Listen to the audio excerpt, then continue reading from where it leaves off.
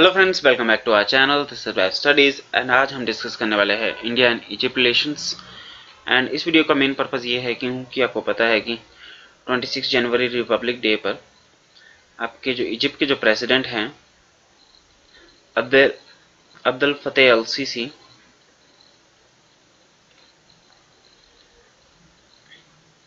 इनका state visit था यहाँ पर एंड इन्होंने रिपब्लिक डे में पार्टिसिपेट किया था एंड ये गेस्ट ऑफ़ द ऑनर थे। यहाँ पर इंडिया में। सो so, हम इसका एक हिस्टोरिकल बैकग्राउंड देख लेंगे इंडिया एंड इजिप्ट रिलेशंस का। प्लस हम देखेंगे कि इस विज़िट का क्या आउटकम रहे। फॉर एग्जांपल इन्होंने इकोनॉमिक पॉइंट ऑफ़ व्यू से देखेंगे कि इनके क्या आउटकम रहे। प्लस हम देखेंगे कि स्ट्रेटेजिक पार्टनरशिप भी आपके इंडिया एंड इजिप्ट के बीच में इस्टेब्लिश हुई है। ब्रॉडली फोर पिलर्स के ऊपर उन फोर पिलर्स को हम डिस्कस करने वाले हैं। सो so, स्टार्ट करते हैं फ्रेंड्स आज की वीडियो सो so, जो पहला पॉइंट है जो history of India and Egypt relation वो डिस्कस कर लेते हैं। सो so, इसका जो जैसे कि आपको पता है कि जो बिंदुसार थे वैसे हमने ये एंशंट हिस्ट्री में भी देखा है आपकी जो वीडियोस थी हमने इससे पहले की वीडियोस में देखा है कि बिंदुसार है उनको ग्रीक लोग कहते थे अमित्र चेत और अमित्रघात। ये शो करता है कि आपका जो बिंदुसार है, इनका जो रीच थी आपकी, इनके रिलेशंस काफ़ी ग्रीक तक थे ग्रीक तक की डायनेस्टीज तक थे।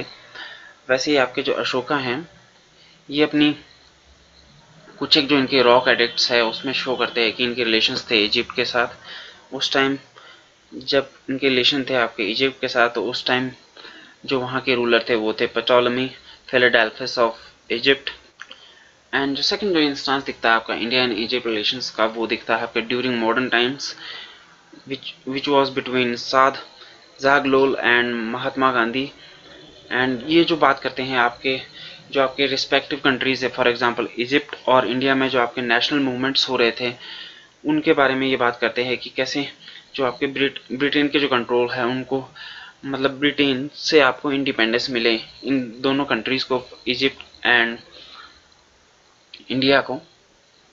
सो मैं एक थोड़ा सा एक बैकग्राउंड दे देता हूँ कि आपका फॉर एग्जांपल जो साद जगलोल थे ये आपके वफ वफद पार्टी के जो लीडर थे उस टाइम और उस टाइम आपका जो इजिप्ट था वो इजिप्ट था अंडर ब्रिटेन कंट्रोल ब्रिटेन के कंट्रोल में था। सो so, 1922 में इन्होंने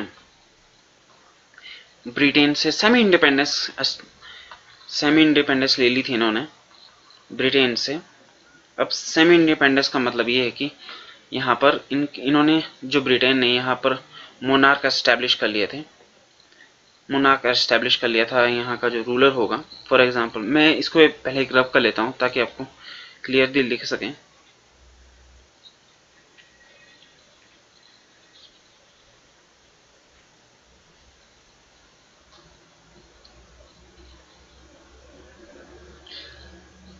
सो so, जैसे कि हमने डिस्कस किया कि इनको सेमी इंडिपेंडेंस मिल गई थी एंड मोनार्क यहाँ के रूलर बन गए थे एंड यहाँ पर ब्रिटेन की आर्मी भी उस टाइम स्टे कर रही थी यहाँ पर इजिप्ट में एंड मेन रीज़न उसका ये था कि ताकि ये सुएज कनाल इसके ऊपर थोड़ा सा कंट्रोल रख सके तो यहाँ पर ब्रिटेन की जो आर्मी थी वो यहाँ पर थी उस टाइम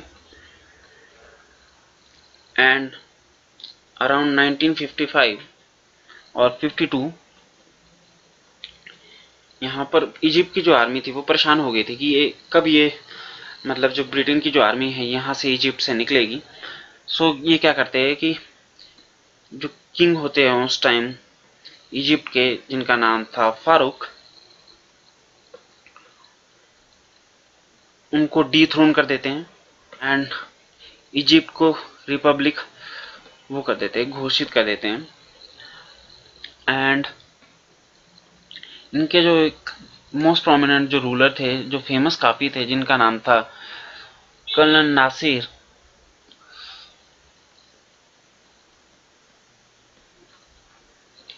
थर्ड जो इंस्टांस आपको दिखता है इंडिया एंड इजिप्ट रिलेशन का, वो दिखता है आपको during the non align movement and उस टाइम जो इजिप्ट के प्रेसिडेंट थे, उनका नाम था Gamal Abdul Nasser and India के जो प्राइम मिनिस्टर थे, उनका नाम था Jawaharlal Nehru and non aligned movement की बात करें तो ये आपका दिखता है आपका मोस्टली आपका during the post independence after the second world war जो आपके कुछ एक कंट्रीज़ थी एशिया एंड अफ्रीका की,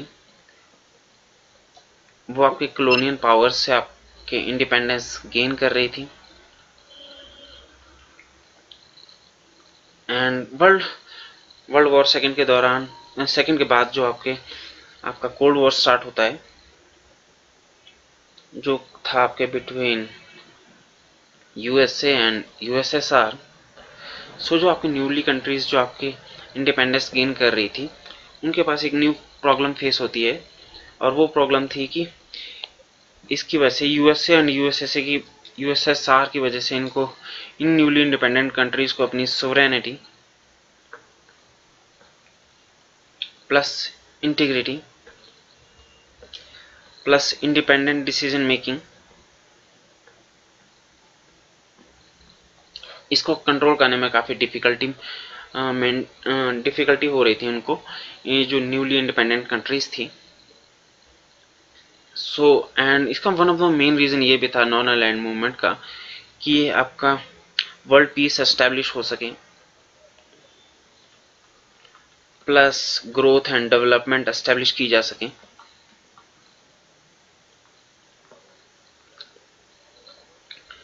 प्लस आपका जो ये एक मूवमेंट था अगेंस्ट द एक्सप्लॉयटेशन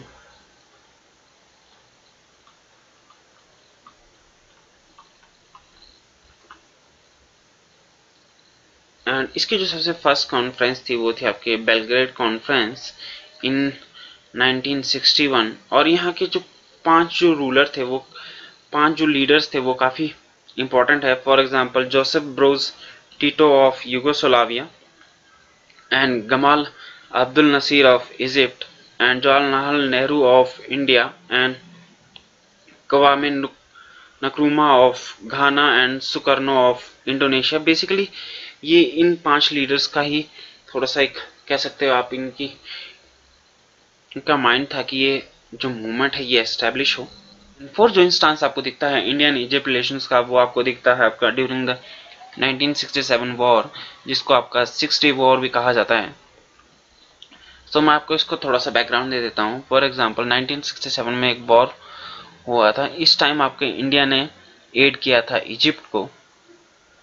एंड जो वॉर का जो मेन रीज़न था, वो था ये कि आपके यहाँ पर सीरिया है, जो कंट्री है, यहाँ पर बात एक पार्टी थी, जिन्होंने अपना कंट्रोल है, वो इस्टेब्लिश कर लिया था।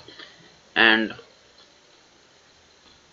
बात पार्टी के जो मेन ऑब्जेक्टिव थे, वो थे आपका Arab unity Arab socialist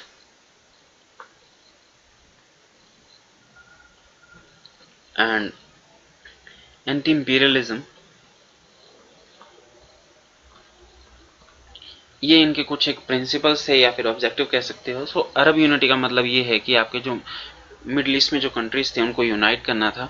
and Arab socialist का मतलब ये है कि आपके जो डाउन टोडन सेक्शंस थे आपको उनको थोड़ी सी एक कंडीशन ताकि इनकी इम्प्रूव हो सके। आपके जो अरब कंट्रीज़ में जो आपके लोग रह रहे हैं उनकी कंडीशंस इम्प्रूव हो सके। एंड जो एंटी इंपीरियलिज्म था इसका मतलब ये था कि जो आपकी आउटसाइड जो पावर्स थी आपके मिडल ईस्ट से जो आउटसाइड की पावर्स थी उनका जो कंट्रोल है यहाँ पर रिड्यूस करना था या फिर उनको हटा देना था यहाँ से। सो so, ये इनका एक बेसिक सा प्रिंसिपल्स है। बात पार्टी के। एंड इसी से मोटिवेटेड होकर आपके इराक में भी ऐसी पार्टी एस्टेब्लिश हुई थी। एंड इजिप्ट में आपके जो कर्नल नासिर थे, इनके भी कुछ एक ऐसे ही मोटिव्स थे। फॉर एग्जांपल इन्होंने, इनके दौरान यहाँ पर लैंड रिफॉर्म्स हुए थे। एंड यहाँ पर आसमान डैम से आपको इलेक्ट्रिसिटी प्रोवाइड की जा सकती थी। एंड प्लस यहाँ पर आसवान डैम से आपको ये इरिगेशन में भी काफ़ी हेल्प कर रहा था। सो so बेसिकली जो इनका जो मोटिव था कर्नल नासिर का, वो आप था, थोड़ा सा ये सोशलिस्ट की तरफ़ इनका थोड़ा सा झुकाव जा रहा था। सो so इन्होंने क्या किया? ये चाहते थे कि ये तीनों countries Syria Iraq and Egypt ये चाहते थे कि जो यहाँ पर है इसराइल में। यूएस ने कंट्रोल कर दिया है। इसको इसको हराकर, इनको यूएस को हराकर यहाँ पर ये चाहते थे कि पैलेस्तीनियन पीपल्स के लिए यहाँ पर, जो कि एक अरब पॉपुलेशन है, उनके लिए यहाँ पर मतलब उनके लिए फाइट लड़ रहे थे। सो क्या करते हैं, ये तीन जो बाउंड्री एरियाज़ पर अपने बाउंड्रीज एरिया है, वहाँ पर अपने जो ट्रूप्स हैं, वो उनको इस्टेब्लिश कर देते हैं। बट इसराइल क्या करती है? इसराइल इनको मारने का मौका नहीं देती है और ये क्या करती है? पहले ही अटैक कर देते हैं। एंड इसमें इन्होंने काफ़ी इनकी जो टेरिटरीज है फॉर एग्जांपल सीरिया की टेरिटरी इराक की टेरिटरी एंड इजिप्ट की टेरिटरी इन्होंने अपने कंट्रोल के अंडर ले ली होती हैं। एंड इस इस वॉर के दौरान आपने इंडिया ने भी थोड़ा सा हेल्प किया था। ये आपका seventy fifth year of establishment of diplomatic relations between India and Egypt था। एंड अब हम इसके बारे में डिस्कस कर लेते हैं इंडिया एंड इजिप्ट की जो बायोलेटरल रिलेशंस हैं उसके बारे में थोड़ा सा डिस्कस कर लेते हैं।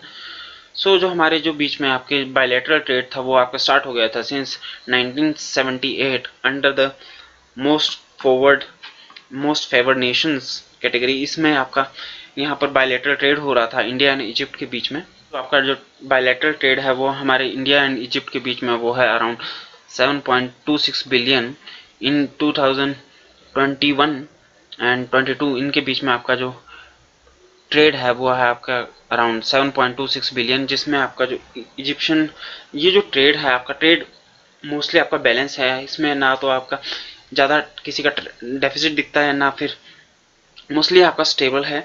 सो so, इसमें जो आपका इंडिया इजिप्शियन एक्सपोर्ट्स की बात करें जो इंडिया के लिए है वो है आपका around 3.52 billion dollar and India exports to Egypt was 3.74 billion वैसे ये इंडिया के पक्ष में है थोड़ा सा। एंड अगर हम इंडिया एंड इजिप्ट रिलेशंस की बात करें तो इंडिया एंड इजिप्ट रिलेशंस हैं, वो आपके मूव हो गई हैं अराउंड मूव हो गई है टू स्ट्रेटेजिक पार्टनरशिप और ये जो स्ट्रेटेजिक पार्टनरशिप है आपके फोर पिलर्स के ऊपर होगी फोर ब्रॉड पिलर्स के ऊपर। फॉर एग्जांपल हम इनसे, इन इजिप्ट के साथ पार्टनरशिप करेंगे on political and security related issues plus economic engagement plus scientific and academic collaboration plus people to people contact so अब हम इसको थोड़ा सा डिस्कस कर लेते हैं इन सभी पिलर्स को ब्रॉड पिलर्स को. सो so, अगर इन फोर पिलर्स की बात करें तो सबसे फ़र्स्ट जो पिलर है वो है आपका political and security related pillar and आपका जो ये विज़िट था ये आपका थर्ड विज़िट था इजिप्ट के जो प्रेसिडेंट का, इससे पहले का जो विज़िट था, वो था आपका 2016 में, और उससे जो पहले का विज़िट था, वो था आपका 2015 में, अक्टूबर 2015 में।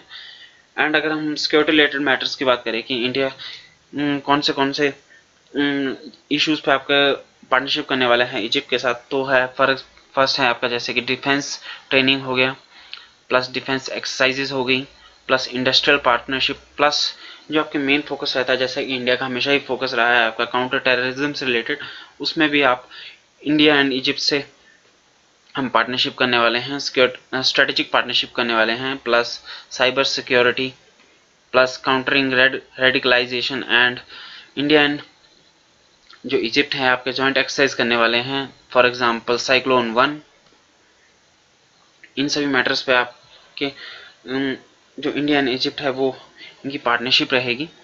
एंड सेकंड जो पिलर है, उसका नाम है इकोनॉमिक एंगेजमेंट एंड जैसे कि हमने पहले डिस्कस किया है कि जो इंडिया एंड इजिप्ट के बीच में जो बायोलेटरल ट्रेड है, वो है around seven billion dollar and इस विज़िट में आपको इसको ट्वेल्व बिलियन टारगेट तक रीच करने के लिए इंडिया एंड इजिप्ट प्रयास करेंगे। एंड हमारे जो इंडिया एंड इजिप्ट है, इन सेक्टर्स के ऊपर फोकस करेंगे। फॉर एग्जांपल रिन्यूएबल्स हो गए। फार्मास्यूटिकल्स हो गए आईटी हो गया इंफ्रास्ट्रक्चर डेवलपमेंट इन सभी सेक्टर्स के ऊपर फोकस रहेगा इनका इंडिया एंड इजिप्ट का।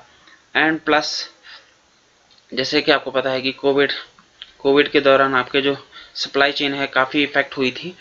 सो इंडिया एंड इजिप्ट कोशिश करेंगे कि एक रिजिलियंट सप्लाई चेन बिल्ड कर सकें on food fertilisers and energy and third जो आपका पिलर है, वो है आपका साइंटिफिक एंड एकेडमिक कोलेबोरेशन इसमें जो आपके दोनों कंट्रीज़ के जो इंस्टीट्यूट है आपके for example India and Egypt के, उनके बीच में थोड़ा सा एक पार्टनरशिप रहेगी, ताकि एक डेवलपमेंट हो सके, एक साइंटिफिक आपका थिंकिंग बिल्ड हो सके। एंड फोर्थ जो पिलर है, उसका नाम है पीपल टू पीपल नीड्स इसमें इंडिया एंड इजिप्ट कोशिश करेंगे कि जो आपके इंडिया एंड इजिप्ट के जो लोग हैं, इनके बीच में आपका लिंकेज बढ़े।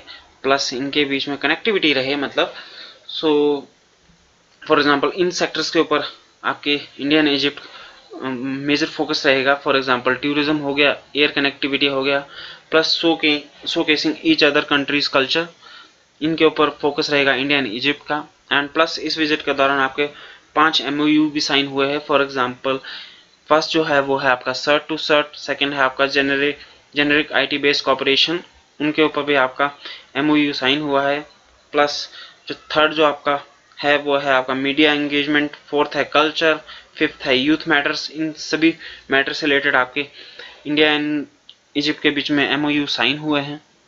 So friends that's it for today and if you think this video was useful to you then do like share and subscribe to our channel so we can get motivated to make more such educational videos till then keep studying and keep working hard we will meet you in next video